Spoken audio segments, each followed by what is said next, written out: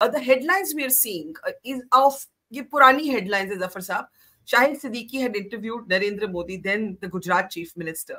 Uh, you were also uh, you were also in the know. You were also involved in that interview, and Mr. Siddiqui got thrown out of the Samajwadi Party. You know, because you have आपने छेड़ा वो interview को, तो because I was party to that. So let me yes. add the story to that. There's a story to it, and it's yes. very interesting.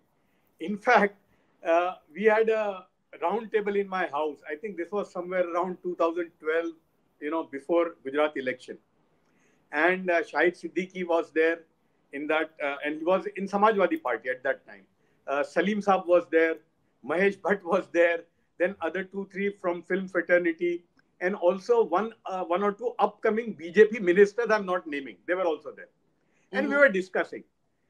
So, when Shahid Siddiqui asked, भाई आप लोग मोदी की क्यों तारीफ़ करते हैं? टू मी एंड सलीम साहब। सो सलीम साहब सेड दैट देखो शाहिद साहब यू आर अ जर्नलिस्ट आप मोदी का इंटरव्यू लो और पूछो उसको। यू आस्क हिम तो शाहिद साहब सेट वो इंटरव्यू देते ही कहा है किसी को? एंड यू नो मोदी साहब किसी को इंटरव्यू देते ही नहीं है। सलीम साहब सेट ज़फ़र फ़ोन लगाओ. सो so, वहीं से मैंने फ़ोन लगाया मोदी साहब को इनके सामने शाहिद साहब के। और सलीम साहब ने बात की। तो मोदी साहब को कहा कि शाहिद सिद्दीकी साहब को आप इंटरव्यू दो। तो he was reluctant as you know he is and he said देखो, उनको जो पूछना है वो पूछें, आप अपना जवाब दो, ये उसको ईमानदारी से छापेंगे लेट पीपल डिसाइड तो मोदी साहब, सलीम साहब के कहने पर तैयार हो गए। उसके बाद, थोड़े दिन के बाद मोदी साहब के ऑफ़िस में जब फ़ोन आया कि भाई सवाल भेजिए तो मैंने कहा, नहीं, बात हुई थी, इनको जो पूछना है वो पूछेंगे।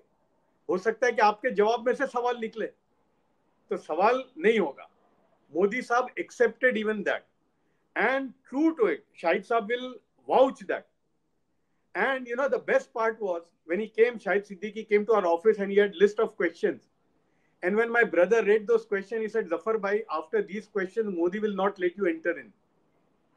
तो शाहिद साहब ने कहा कि अगर ये सवाल मैं मोदी से नहीं पूछता तो फिर यार इंटरव्यू कैसा होगा Anyway, we went. I was also there. Shahid Saab asked every single question which SIT would have asked him. And that is the kahani of that interview.